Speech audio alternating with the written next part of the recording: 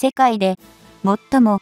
軍事装備品に故障が多い国、韓国ですが、またまたグローバルホークが動かないとの情報をキャッチしました。今回は、この韓国の整備がなんでポンコツなのか見ていきます。スパイだから情報を横流ししているのではないのかな。私の心の声です。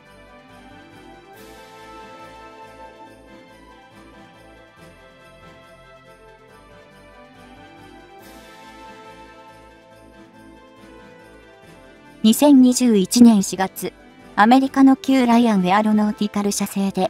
現在はノースロップグラマン社により買収され、同社の製品となっている無遠隔操作型無人航空機 RQ4 グローバルホークの日本向けの機体が初飛行した。その後の日本への無遠隔操作型無人航空機 RQ4 グローバルホークの納入は未だ報じられてはないが、2021年3月には航空自衛隊にこの運用を担う臨時偵察航空隊が新設されており、配備後の部隊編成も進められている状況だ。日本では RQ4 グローバルホークの導入について、先行して運用しているアメリカ空軍が運用中止を考慮しており、運用コストの高騰が容易に想像できるため、導入の再検討を含めた議論を行うべきとの声が一部からは出されている。それでも、一度動き出した導入の流れは止まらず、2018年6月に、まず、総額で約164億円相当の金額で、防衛装備庁とアメリカ空軍省が契約を締結。これは、本体の RQ-4 ブロック3型3機と、地上設置型の操縦装置2機の導入費用となった。日本では、すでに2019年末には、青森県の航空自衛隊の三沢航空基地にこの RQ4 グローバルホークを前述の臨時偵察航空隊と共に配備する方針を打ち出しており、ここから日本全体の監視任務を行うことを明らかにしている。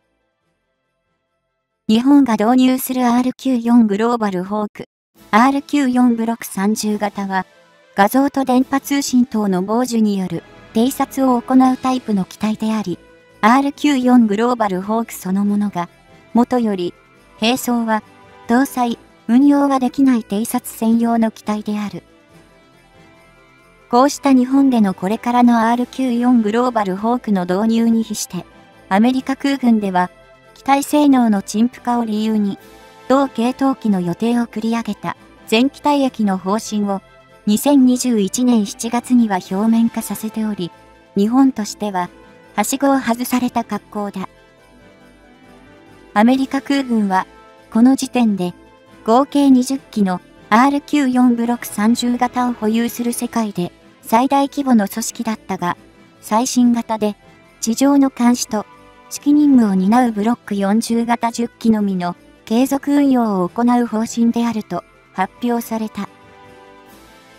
アメリカ空軍では、その RQ-4 ブロック30型の早期での退役の理由を中国軍が強化している対空兵装や電子妨害戦への対処ができないことを挙げており、最も懸念される台湾有事への有用性が低下したことを認めている。日本では RQ4 ブロック30型について、2017年度から2019年度までの5年間で3機の機体本体に約386億円、付帯費用に約462億円の合計約848億円もの防衛予算の計上を確定させているが、今後、この経費の是非が問われる可能性が高まった。折しも、お隣の韓国では、日本に先行して、RQ4 グローバルホークの4機の導入を進めており、すでに2019年末には1機目、翌2020年4月には2機目が引き渡されているが、この両機、ともに運用上の大きなトラブルが発生している。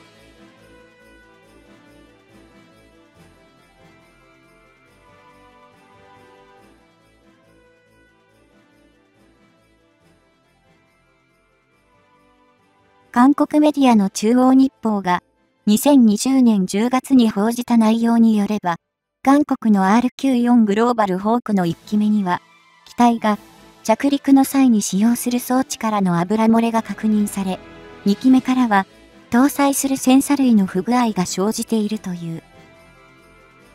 RQ4 グローバルホークを導入した韓国空軍では、当初の計画では、2021年後半での同期の実戦配備を目標としているが、現状では、すでに全世界でわずか20機足らずの稼働数となっていることから、代替部品の調達も困難だとしている。そのため4機導入した RQ4 グローバルホークの中から完全な状態の1機を選定し、ここから正常稼働する部品を1機目及び2機目に転用、つまり部品取りに使用し、予定よりも1機少ない3機での実戦配備を行う方向に転換させている。韓国空軍では、こうした対応を強いられている現状について、時期的にも世界的な新型コロナウイルスの蔓延で、アメリカの RQ4 グローバルホークの整備技術を有する人材の受け入れが困難なことも、要因の一つに挙げている。このような韓国空軍の RQ4 グローバルホーク導入についての現状からは、韓国とアメリカとの今回の契約内容や問題発生時の対処方法について、現状認識の甘さについて揶揄する声も聞かれるが、決して多山の意思とは思えない。個人的には、日本は、韓国の4機よりも少ない3機しか RQ-4 グローバルホークの調達の契約を締結しておらず、仮に同様な問題が発生した場合に、同様の手法で対処しようとしても、それでは2機しか稼働させられなくなってしまう。今後を予想した場合に、今以上に世界的に RQ-4 グローバルホークの稼働数が増加することは考えにくく、韓国が遭遇している状態と全く同様に、予備部品の入手の困難さと、その費用の高騰は防止しょうがないように思える。これらを予期して、日本でも RQ4 グローバルホークの導入には、慎重に検討すべきとの意見も論が出されていたわけだが、期せずして、同期の本格運用には、厳しい現実が起こり得ることが表面化してしまったと見るべきではないだろうか。RQ4 グローバルホークは、ベースである RQ4A で、全長は13.52メートル、全幅が35.42メートル、全高が4.64メートルと、近年小型化が進む無人航空機の中では初飛行が1998年と古いこともあり、かなり大型な機体となっている。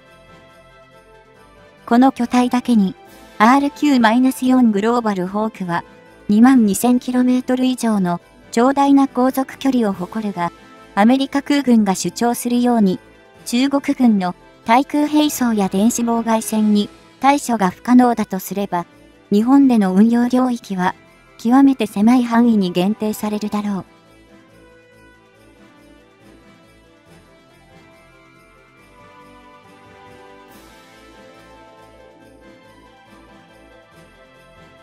ただし、こうした懸念を知ってか知らずか定かではないが、この2021年9月5日には、アメリカ空軍の RQ4 グローバルホークが、北朝鮮の軍事パレードの動向を探る目的で、朝鮮半島のソウルやカンウォンド島の軍事境界線付近を飛行した。